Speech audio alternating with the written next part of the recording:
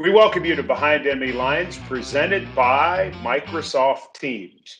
I'm Mike Keith, joined by Amie Wells, and our special guest from The Athletic covers the Indianapolis Colts. It's Stephen Holder. Stephen, thanks for your time. Thanks for having me. Good to be here. Stephen, the Indianapolis Colts are coming off of an overtime victory against the Green Bay Packers. What was it about that game that stood out to you the most about the Colts? Composure. You know, they faced a, a pretty early onslaught from Aaron Rodgers, you know, which is there's no shame in that, right? But I think to be down 14 at the half, and from what players were telling me, you know, at halftime, for there to be really no panic and just uh, just an understanding that they were still in the game and and knowing exactly what they needed to do. I thought the second half adjustments on defense were were impeccable and the offense rejuvenating itself. That was the thing to me that I think can can carry over to remaining games. Stephen Philip Rivers probably played his best game of the season to date in Nashville against the Titans, and then he followed it up with another really good performance against the Packers.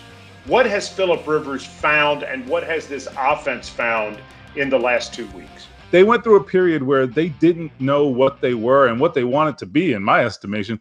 And I think now what you're seeing is they're figuring it out. This is the most efficient he's played really since 2018. He's in a groove right now. I think he's really playing within himself because at 38, that's different than it is at 28. And so I think that's where Philip Rivers has done the best job, just learning to play within himself and knowing when to say when.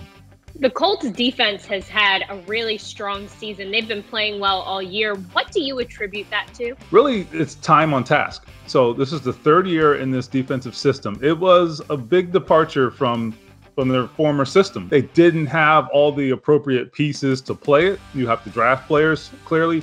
And so they've been doing that now for three years. They have a very experienced young group. They have speed. And so you're seeing them play really fast on defense. It's because they're very comfortable in this scheme. On November the 12th, the Indianapolis Colts came to Nashville, and it was a, a situation where they were an underdog. They were coming off a loss, and you said, uh, you know, this is their season right here. Well, now coming into this second meeting, 17 days later, they're going to be the favorites in this ball game. They've won two very big games.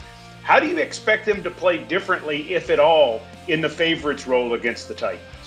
I don't think they'll play very differently. I think the one thing we know about the Colts is they will continue to be aggressive. I mean, what's the hallmark of that game two weeks ago?